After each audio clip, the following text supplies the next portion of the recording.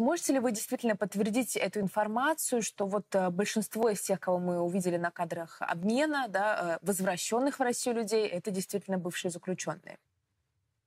Да, это так. И я хочу сказать, что это не первый раз такое. Обмен, который предшествовал этому в августе, 8 августа, если не ошибаюсь, прошлого года, э, там тоже превалировали заключенные.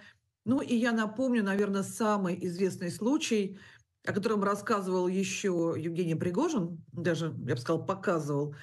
Э, правда, он уверял, что заключенного бывшего Евгения Нужина выкрали из э, центра Киева вечером и привезли. Нет, он был обменен. Он тоже был обменен. И заключенных, обмененных э, в каждом, наверное, обмене большинство. А зачем российской стороне возвращать именно заключенных, причем заключенных вместо контрактников, вместо тех же мобилизованных, собственно, учитывая в том числе и протест жен мобилизованных, которые ждут э, своих мужей с фронта? Хоть они немножко о другом говорят, но тем не менее. Есть очень много причин. А, есть причина, ну, такая самая утилитарная, потому что заключенные – это товар многоразового использования. Вот их возвращают из плена. А я напомню, что помилование наступает через полгода после участия в боевых действиях. Если люди попали в плен, значит, полугода нет.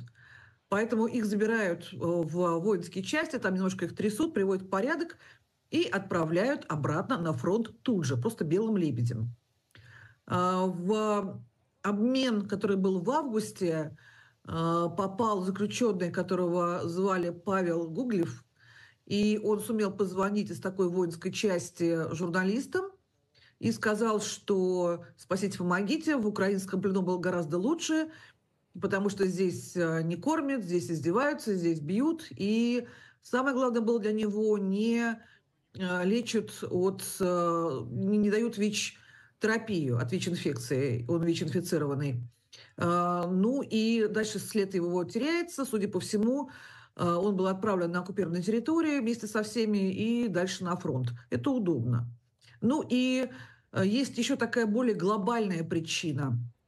Она заключается в том, что Путин, он как бы наследник, вот в, в том числе и всех э, странных представлений 80-летней давности Второй мировой войны. И как-то он считает, вслед за ним это и армия считает, и Пригожин считал в свое время, что сдача в плен – это позор и почти преступление. Э, ну, собственно, поэтому встречать как героев, там, контрактников, а тем более мобилизованных, как не очень хорошо, с одной стороны, а с другой стороны, нужны обмены, нужна какая-то картинка. Ну и, в общем, к зэкам, если прибавить немножко контрактников, то будет хорошо. Ну да, вот так. Угу.